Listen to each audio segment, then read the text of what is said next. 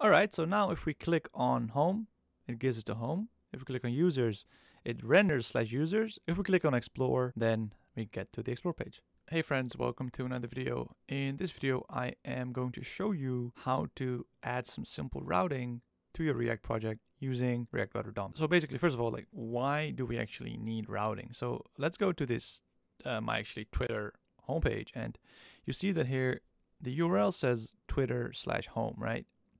Now, if I click on explore, it shows Twitter slash explore, but do you notice that it doesn't actually refresh the page? So how does Twitter know what to render given the URL? And that's basically what we are going to do. For this project, we are going to build a simple React web app with three pages, home, explore, and let's say profile. So what I did is I created a new folder called uh, documents projects and then router, which is where we're going to host the project. So the first step is going to be to install React, or rather to use the re create React app. So let's do npx create react app and we'll use a dot to signify that it's going to be in this directory, right?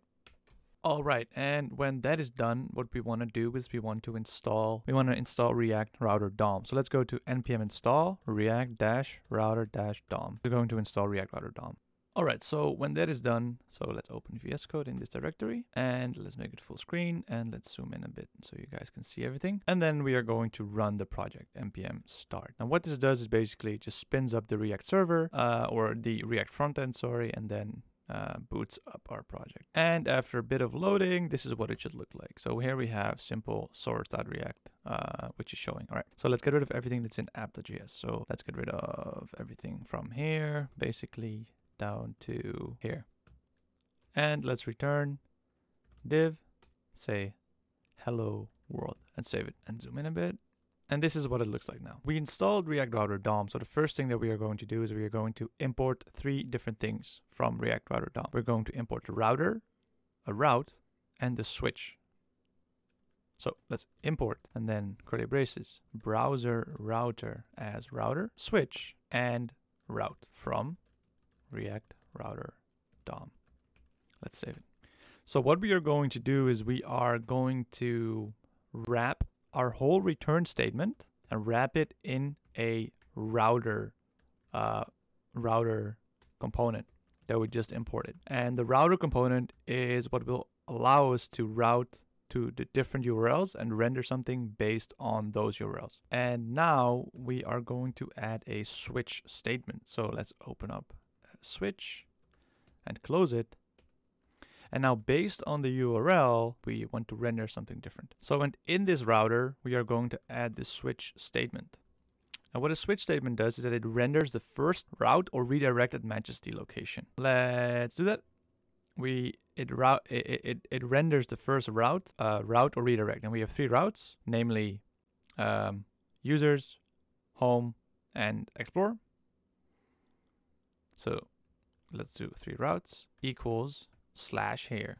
And this is going to um, be our uh, home path. Let's go one up. Path equals explore. And this is the explore page. And this is the path, oh, inside. Path equals uh, users, which is going to be the users page. If you save it and check out your React app, everything should work perfectly. The reason I don't put home is because it renders the first child or uh, redirect the first route or redirected message location. So I'm gonna add that here as a nice uh, note. So what happens when you put this up front? Then it always will render this one because this is the first thing for the the first path that it matches. So we have the users, we have Explorer, and we have Home.